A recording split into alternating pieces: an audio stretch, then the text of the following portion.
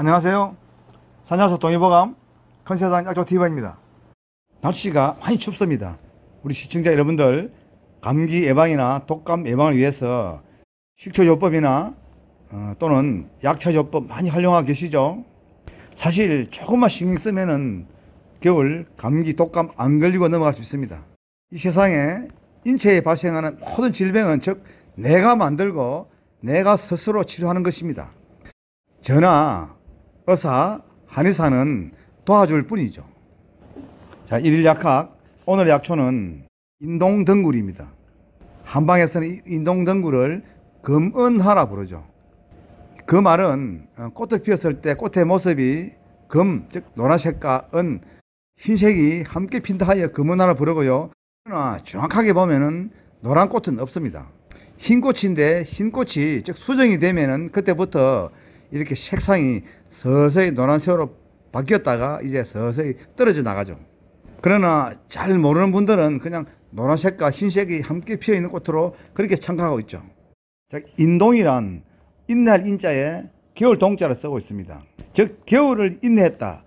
아마 사람이든 식물이든 어, 모진 삶을 어, 견디고 이렇게 버텨낸 것을 인동이라 그러죠. 자, 이 인동 즉 금은화는 약성은 성질은 차고 맛은 달며 독은 없습니다. 자, 이 인동 덩굴을 남쪽 지방에 와 보시면 한겨울에도 잎이 거의 반좀 붙어 있죠. 반상록입니다. 아주 심하게 추운 곳에서는 겨울 되면 잎이 다 떨어지지만은 그렇지 않고 영하 보통 한 5, 6도 뭐 이런 정도 되는 곳에서는 겨울에 잎이 그냥 시들시들해 있을 뿐이고 완전히 떨어지지 않습니다. 자, 지금 화면에 인동꽃 한번 보십시오. 흰 꽃하고 노란 꽃이 함께 피어 있는 것으로 보이지 않습니까? 그리고 이 인동 덩굴의 열매는 까만색입니다. 크기는 아마 한 5, 6mm 그 정도 되고요. 먹어보면 맛은 상당히 썬 편이죠. 그러나 이 까만 열매도 아주 귀한 약재로 쓰고 있습니다. 이 인농덩굴에 주약으로 쓰는 부분은 지금 보니까 줄기 어떻습니까? 줄기가 꾸불꾸불하게 어찌 보면 새끼죽 같기도 하고 그리고 어, 자세히 한번 보십시오. 껍질이 이렇게 더덕더덕 벗겨지기도 하고요. 사실 이런 껍질이 벗겨지는 이 줄기나 뿌리를 채취해서 사실 주약재로 쓰고 있습니다. 물론 잎이나 지상부의 잔가지 즉 잔줄기들을 이렇게 채취해 가지고 잘게 썰어서 사용해도 되고요. 주 효능은 인체 해독 작용이 아주 뛰어나고 그리고 염증을 삭히는 소종 작용도 아주 뛰어난 것이 이 인동덩굴이죠. 그리고 이뇨 작용도 뛰어나고요. 즉 소변을 잘 나오게 만들어주고 그리고 인체에 염증으로 인한 어, 몸에 열이 나고 할 때 그 열을 내리는 해열 작용도 아주 뛰어난 것이 이 인동덩굴입니다. 자 약으로 사용하실 때는 여름에 잎이 무성할 때는 잎과 줄기를 어, 함께 걷어 사용하면 되고요. 그러나 지금처럼 겨울에 잎이 거의 없고 할 때는 그냥 지금 보는 새끼 같은 꾸불꾸불한 줄기 있죠. 이 줄기 그냥 토막토막 잘라서 지저분한 껍질 좀 벗겨버리고 사용하시면 됩니다. 사실 이 인농덩굴을 예전에는 잘 낫지 않는 어, 종기 치료에 많이 썼고요. 매독이나 임질, 기타 뭐 치질 이러한 질환에 예전에는 많이 써왔습니다. 그리고 인체에 더해 쌓여있는 어, 독소를 분해 몸 밖으로 배출하는 작용이 아주 뛰어나죠. 즉 해독 작용이 엄청 뛰어납니다. 그리고 유행성 감기, 즉 독감이죠. 그 외에도 간염에도 많이 쓰고 있고요.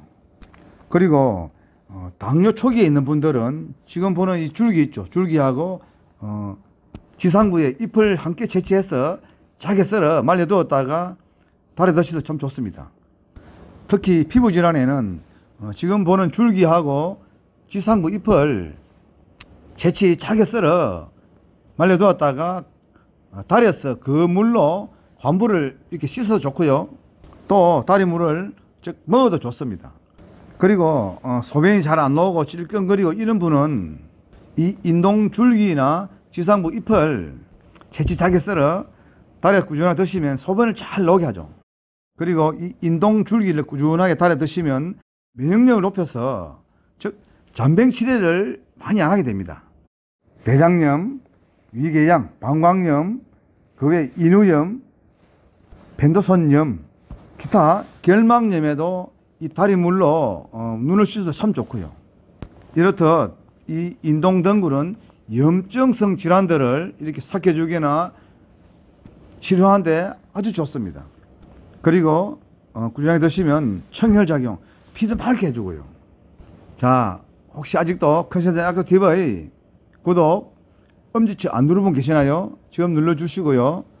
어, 엄지척은 100%마다 한 번씩 꼭 눌러주셔야 됩니다. 저는 좋은 방송으로 보답해 드리겠습니다. 차가운 날씨 건강 조심하시고요.